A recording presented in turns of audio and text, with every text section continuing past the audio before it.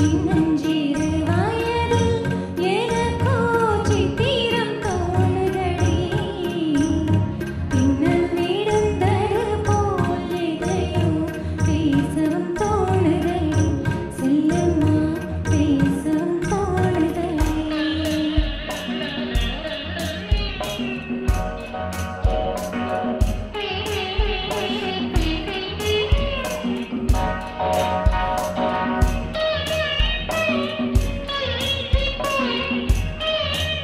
Thank you.